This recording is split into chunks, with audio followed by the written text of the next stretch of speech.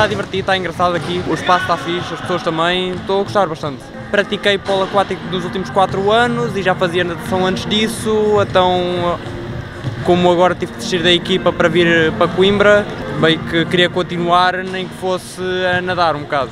Como estava interessada em entrar no vôlei universitário, pronto, pensei vir experimentar e, e ver como é que era o ambiente pronto, e informar.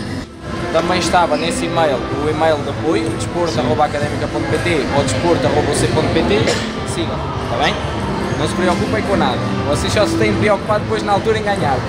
Eu tenho estado nesta semana de, de acolhimento, integração ao, aos novos estudantes uh, e soube que iria haver uma atividade com desporto.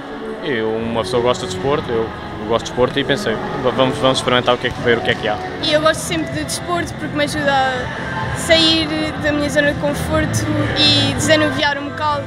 Iniciei na natação, depois fiz judo aqui na Académica durante seis anos e depois estive no remo e agora estou a pensar voltar para lá. Aqui deixamos preparado diversas atividades, né, dentre as quais aqui disponibilizamos, tanto do ponto de vista de uma prática mais formal da competição, tanto mesmo quem tem interesse de participar no desporto competitivo, até junto aqui com uma parceria com as secções acadêmicas, tanto com a parte de promoção da saúde, que o Gabinete de Desporto foca muito nisso através principalmente do nosso programa que é o UC Mais Ativa, onde disponibilizamos para a comunidade acadêmica um leque gigantesco de atividades, onde eles podem praticar desde uma defesa pessoal, como o jiu-jitsu, até um treino funcional ou mesmo uma atividade de yoga a nível de controle de estresse promoção da saúde física e mental de modo geral. Então aqui os estudantes que agora recém chegaram à Universidade de Coimbra estão a experimentar o treino funcional, algumas atividades de jogos mais lúdicos e tradicionais, o badminton, o tênis de mesa, e assim conseguem ter uma ideia um bocadinho do que o desporto e juntamente aqui com o estágio universitário tem feito nesses últimos anos. Relembro que o ano passado